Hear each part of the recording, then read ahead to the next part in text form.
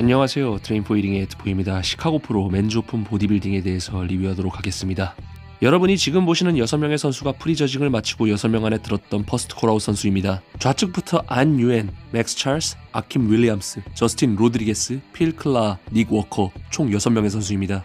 이후 final에선 우측에 있는 에디 브라카몬테스가 first callout에 들어왔습니다. 그리고는 이후 닉 워커와 안 유엔, 필 클라 선수를 second callout으로 강등시켜 채점을 진행하였습니다. 프로 카드를 획득하고 이어지는 프로 무대에 데뷔를 하기 전부터 닉 워커는 프로 무대에서는 실력 발휘를 할 수 없을 것이라는 비판을 받아왔습니다. 하지만 닉 워커가 등장하고 닉 워커의 사이즈와 다이어트 강도를 보았을 때 top 3 선수들과 비교해 보아도 모자람이 없어 보였습니다. 특히 아마추어에서 프로로 넘어갔던 NPC North American에서 보여준 모습보다 더욱더 허리를 타이트하게 관리하였기 때문에 심미성으로 보았을 때도 훨씬 더 나은 모습이었습니다. 또한 back pose에서 닉 워커는 정말 강력한 모습을 보여주었습니다. 뉴욕 프로에 이어서 시카고 프로에서도 2위를 기록했던 우측의 저스틴 로드리게스와 비교를 해보아도 닉 워커의 back pose가 저스틴 로드리게스보다 더욱더 나은 모습을 보여주었다고 생각합니다. 올해 아놀드 클래식부터 뉴욕 프로, 캘리포니아 프로에서 눈부신 모습을 보여주었던 맥스 찰스 역시 마지막 주에 시카고 프로에 합류하였습니다. 캘리포니아 프로 때보다 볼륨감적인 면에서는 떨어질지 몰라도 다이어트 강도를 더욱더 살려서 나온 맥스 찰스는 정말 강력한 모습이었습니다. 시카고 프로 결과입니다. 좌측부터 6위 안 유엔, 4위 닉 워커, 2위 저스틴 로드리게스, 1위 아킴 윌리엄스, 3위 맥스 찰스, 5위 에디 브라카몬테스입니다.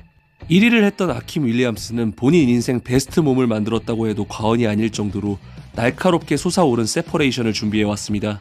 IFBB 프로리그 전체를 놓고 보아도 사이즈로 정평이 나 있는 아킴 윌리엄스가 근육의 분리도를 제대로 준비해 오니 그 누구도 상대할 수가 없었다고 생각합니다.